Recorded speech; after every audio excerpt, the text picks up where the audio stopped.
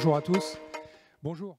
Bonjour à tous et euh, bienvenue sur euh, Hello, everyone. notre euh, première conférence digitale Emerging Welcome to the first Mediterranean, Emerging Mediterranean Digital ah. Et Conference. voilà, conference. euh, Aujourd'hui, euh, nous sommes réunis par le digital. Today we've been en brought together by euh, Digital Technology, direct live from the Vélodrome, euh, Stadium euh, in Marseille. avec, euh, le directeur général de l'Olympique euh, Here we have the managing director euh, of Olympique de le mot d'accueil. Marseille football Et je vais vous team, who will say a few words. Suivre, en direct, First of all, I euh, would euh, like to thank euh, everyone who has been with us throughout the conference, all throughout the Emerging Mediterranean program as well, de rive qui vise à as well as the de la Méditerranée boot camp of the two shores, Tech for Good which is a laboratory for tech for good between euh, Europe and Africa, which has accelerated, sourced, and champions, les futurs financed leaders de la the next generation of tech for good Mediterranean entrepreneurs. pour objectif de soutenir les écosystèmes euh, The idea of today is to support Mediterranean Mediterranean startup companies to be more resilient euh, to euh, the challenges of euh, today, le bootcamp des deux rives, especially qui s'est tenu à Casablanca which was first of the main things that we addressed during the boot camp of the two shores, which was the result of an appeal for a call for applications, uh, which for which we received over 230 applications, a third of which were from women from countries in Northern Africa, Tunisia, Morocco, Libya, and Mauritania. Today we'll be selecting the five finalists, the five winners of this competition from the 10 which we have whittled down from 30. First, we will be talking about how these startups were selected. We had so many applications from women, which was great, from Libya, Algeria, Mauritania, Mar- and Tunisia. Just before coming back to talk about the boot camp, I'm going to talk about the program of the day. We have many experts that are here with us today, talking that we were talking about certain subjects such as financial inclusion and sustainable development in the, in the Mediterranean. I would like to thank our partners. First of all, the Minister of European and International Affairs and the Mediterranean Ambassador, Mr. Amellal Karim, who will be doing the opening speech. I would also like to thank the French Development Agency and the Social and Inclusive Business Camp, which are partners. We also have country, pa- country partners, first of which is the Startup Factory from Morocco, which has been our most important partner. We also have the Mauritanian Youth Chamber of Commerce. The president will, the chair, chairman, chairwoman of this organization will be speaking a little bit later on. We also have representatives from the Technopark from Casablanca. I Would also like to thank the Algerian Je remercie euh, Connectinov euh, depuis la Tunisie et Hicham, The Algerian euh, qui était un de nos patronage citizen organization. Expertise France, qui nous a beaucoup In, in addition to this, I would like to euh, thank sur les projets Expertise France to, for helping us with the Libyan qui prendra aussi la parole.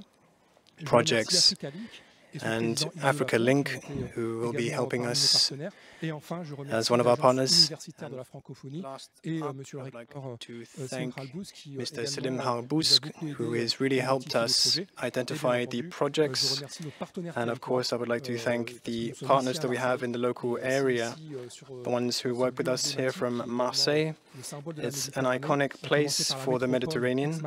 First of all, the le Aix-Marseille Metropole, the Department of the Bouches-du-Rhône, Euro-Méditerranée et la ville the Euro-Mediterranean, Marseille, qui sont, and the city euh, of Marseille, who are partners of Emerging d'aller plus loin, Mediterranean. sur le déroulé de la journée et les Before talking more about what euh, will happen entendu, la dur- throughout the day, présentation, euh, des startups, parce que 10 startups vont pitcher, I'm just going to tell you euh, that we had euh, euh, we euh, will be having 10 Et ça va startups pitching throughout the bien, je donne la afternoon, parole à Hugues Ouvrard, and then we'll be debating général de l'Olympique de Marseille, the results of the son the mot de pitches. bienvenue Hugues, over to you, the Managing Director of Olympique de Marseille. Thank you very much, Samir. Just from listening to you, I think you're absolutely right when you say that there's no better place to be doing this today than from the Velodrome Stadium in Marseille. We share entirely the, all of the values that you have mentioned and I think that the Olympique de Marseille football team is really engaged and committed to everything that's happening in the Mediterranean basin just as much as you are. We have almost 2,000 women who are in the program from Northern Africa. And this is an extremely important geographical region for the club. We have actually ourselves also supported young startup companies, which have also been managed by women, as a result of which we are so happy to welcome you here as Emerging Mediterranean to present your presentation today. Thank you so much. Yes, it's so great that we all share such important values between the two shores of the Mediterranean. We have digital technology, which is one of the most important central pillars of everything that we do. Later on, we will have the closing speech given at around 6 o'clock to bring the day's actions to a close. Thank you so much. Before we get started with the debates, I would like you please to welcome Mr. Karim Amellal, who is the delegate representative for the Mediterranean. He will be speaking to us from Alger in Algeria. He will be giving the opening keynote speech of today's proceedings. Mr. Amellal, over to you. Hello, everyone. It's such a great pleasure for me to be able to be giving this keynote speech at the Emerging Mediterranean conference today. First of all, I would like to well, I would like to welcome and congratulate all of these startup companies that have overcome so many difficulties to be here and present with us today. I really would have liked to be here with you at the Velodrome Stadium, but unfortunately it wasn't possible because I am on the other side of the Mediterranean in Algeria. Samir, you know more than anyone why Marseille is such an important place in the dialogue between the two shores. I would also like to use this opportunity to thank Patricia Ricard. She has been working very hard with us all along the proceedings. So many different stakeholders have also been uh, contributing to the framework of the Summit of the Two Shores. In addition, I would like to thank Aïssa Alam. She is the leader of the Mauritanian delegation, and she is also part of the Mediterranean, Emerging Mediterranean panel. But more than anyone, I'd like to thank Samir Abdelkrim for organizing all of this for everyone Samir has worked tirelessly to bring everything he possibly can to this marvelous project, Emerging Mediterranean. And thanks to all of the meetings and months of hard work, we will finally be seeing the result of everything that's happened with the 10, 10 final startups. We shall be seeing that this first edition of the first first edition of the Emerging Mediterranean, which we've been wanting so much and is perfectly organized around the idea of innovative projects. All of these subjects that we'll be addressing today have been worked on so hard by the startups, issues such as female entrepreneurship, sustainable development, and financial inclusion, inclusion are such important issues for the future of our region.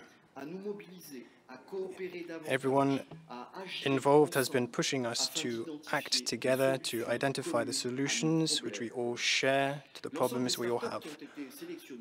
All of the startups have been selected.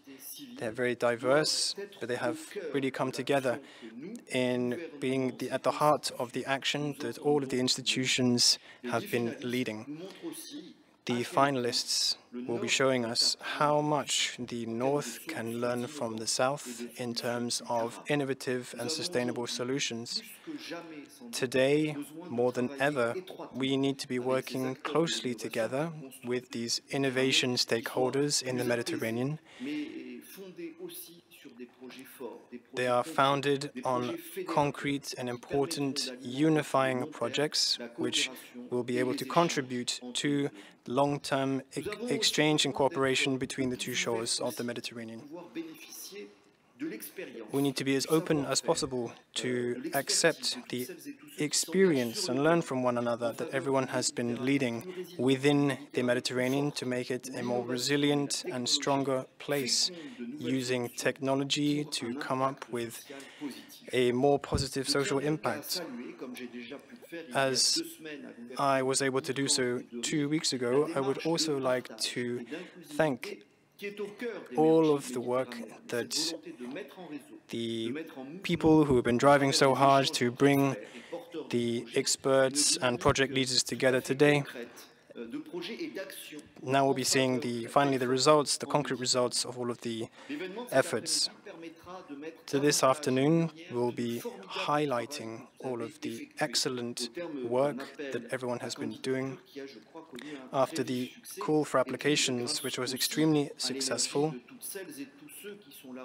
and thanks to all of the hard work and energy that people have been putting in to their pitches and their innovative solutions. As such, I would like to congratulate Samir Abdelkrim He's brought everything together and got everyone unified in the same place so that we can focus on the first of a long series of very positive agendas. Have a good conference, everyone. Thank you, Mr. Ambassador. Thank you, Karim. Once again, it's so great to hear how digital technology can have a real impact to positively change the two shores of the Mediterranean and bring out a more positive agenda between Mediterranean and European countries. And why not even inspire a more engaged dynamic between these between these countries. We're going to be looking at how Tech for Good between these countries can have a more impact a more positive impact on society in, for example, energy or in the environment. And we'll also be looking at inclusivity once more. We want to talk about this during the debates over the afternoon, which we are will be holding here at the Velodrome Stadium we were having several different interviews with industry experts, the first of which is with the president, the chairman of the French Digital Council. This interview is a kind of keynote speech for Tech for Good in the Mediterranean.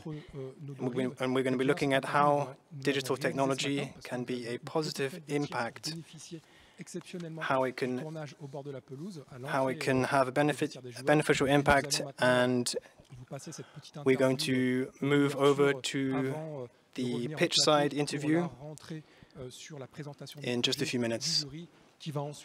after which we will present the panel euh, and all of the experts that will be intervening. Here we go, over to the inaugural keynotes interview.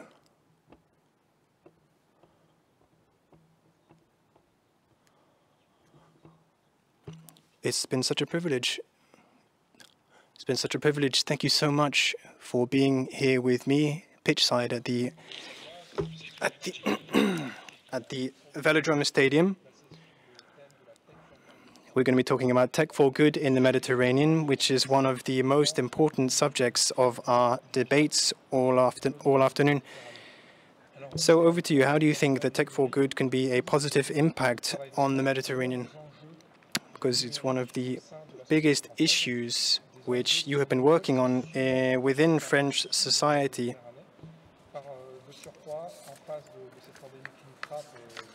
At the moment, everyone is struggling with the aftermath of COVID and how it's impacted everyone. How do you think that these issues can be resolved if we all work together and focus on pooling our resources and our skills.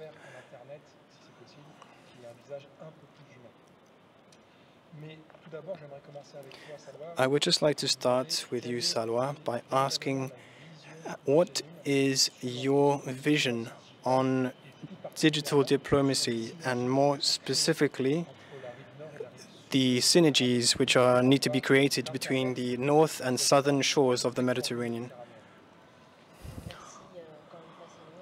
Thank you very much, Samir. I'm so honored to be here with you at the opening of your first edition of Emerging Mediterranean. Yes, you're right. It is the first edition of Emerging Mediterranean, but Later on, we will be having the fourth edition of Emerging Valley in April.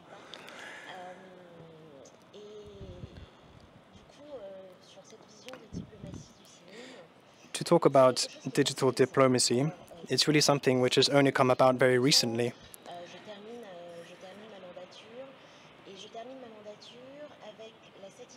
So I've been working in this area for two years and I'm coming to the end of my mandate.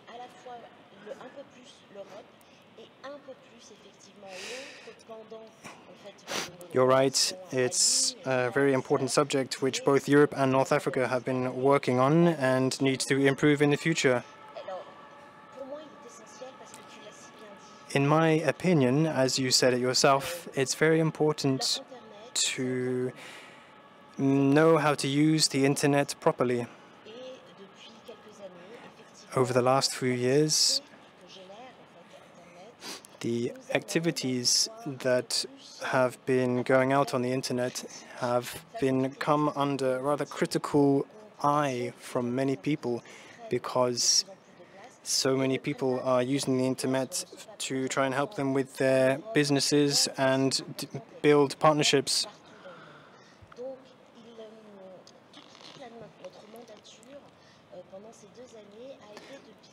All of the work that we've been doing over the last two years has all been about awareness and teaching people how we can how to try and use the internet to have a more positive impact on the planet so that we can create new partnerships between Mediterranean or international stakeholders. These can be government or non-government stakeholders. We've been working on how to support this digital transformation to make uh, to make the the field more inclusive for everyone. This is the main focus of our work. Something else we'll be discussing at great length today is sustainability. Digital technology is relevant to this.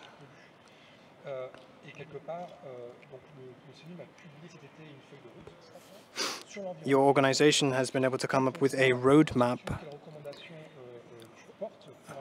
As such, what kind of observations and conclusions have you come to regarding digital technology within the context of a, the Mediterranean politics? That's a very good question. It's rather difficult to answer properly.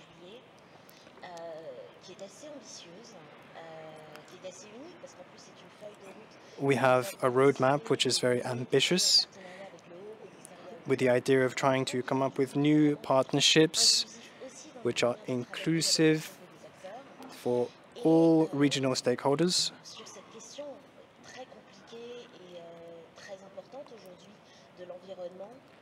The environment is a very important issue which needs to be addressed properly as well today. We've been trying to make in we're trying to include the environment into the roadmap that we've come up with about digital technology. There are certain activities that humans carry out which are more damaging than others. And unless we try and address that, humanity will not progress. Therefore, in hindsight, what I would say is that we need to look at the way that we are living, industries, we need to learn from our failures, and we both need to be thinking about a more sober digital technology, but also digital technology which will be able to benefit humans as much as possible in the future. It's really a balancing act that we have tried as best as we can to include in our program.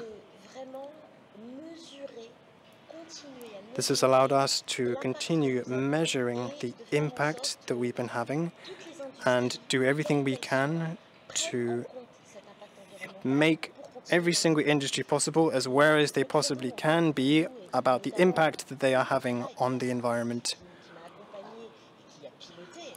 We've been working closely with groups of experts have, that have helped us manage this program.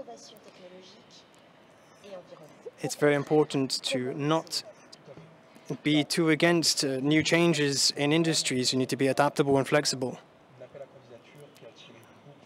As you might know, we, we launched an appel uh, call for applications, which was extremely successful.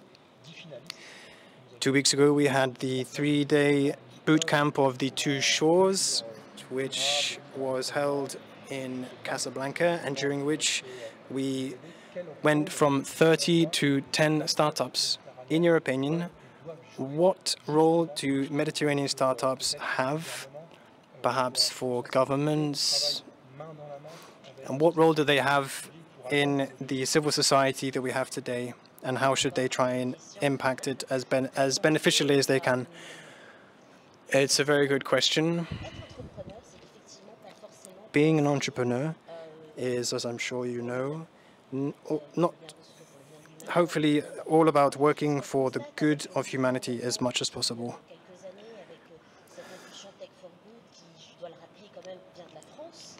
Tech for Good is something that is relatively a relatively new concept in France and elsewhere.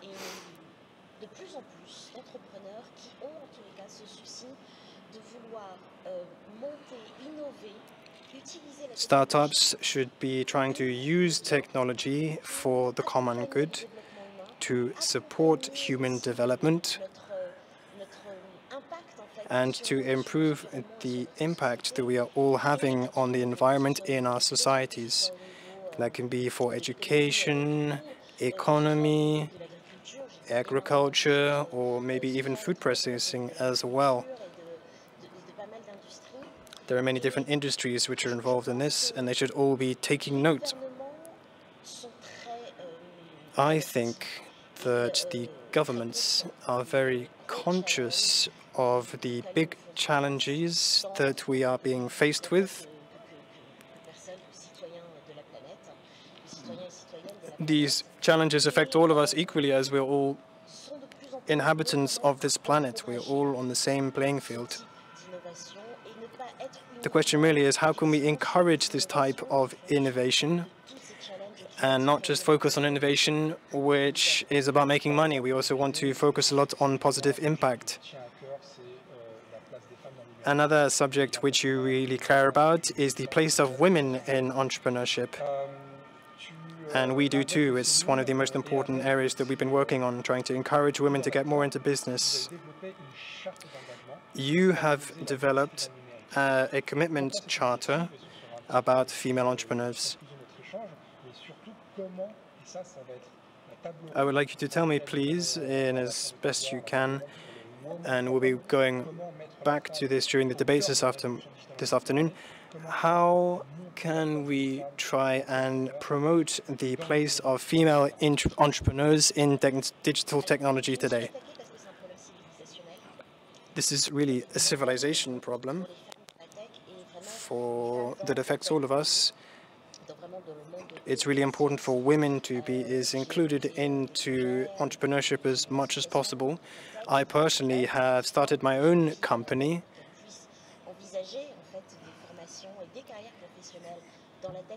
And I want to encourage other women to do the same in the future. They need to get trained, they need to get access to the right sources, the right funds.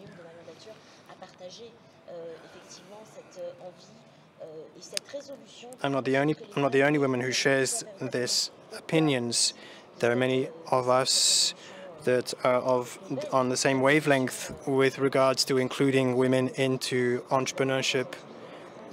Thing is, in France today, the amount of women in entrepreneurship is less than 10%. And France is far from being the only country in this situation.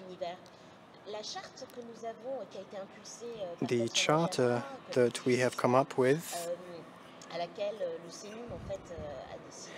which we have been working on in the organization that I work for, is all about one main goal, ensuring that financing women in entrepreneurship continues to grow in the future to create more opportunities for females to get involved in business and digital technology. It's really important for women to not be seen as some second-rate business people. They need to be um, they need to be seen as some kind as a valid stakeholder in any kind of business plan. We need to do away with any kind of sexist ideology, particularly with regards to investors and funders, which are almost entirely men. It's very important for people to realize that we're not that investors don't just invest in companies, they invest in people, and women are just as valid a people, a person to invest in as men. Completely ignoring half of the world population seems to me like a ridiculous idea of uh, a ridiculous way of going about business, because you're only getting access to half of the available skill sets. I'm therefore delighted that you have dedicated one entire debate session this afternoon to female entrepreneurs and women, and including women in business in general. Yes, you're right. Including women in business is essential. It's something that we have not put, have not been blind to. We've been trying to encourage others to do the same. It's not just about women staying at home and looking after the children. They should be should have just as many opportunities to get involved in the value chain as anyone else. Because for me, entrepreneurship in Africa and the Mediterranean is work is all about working every day, daily efforts to try and improve lives for as many people around the world as possible.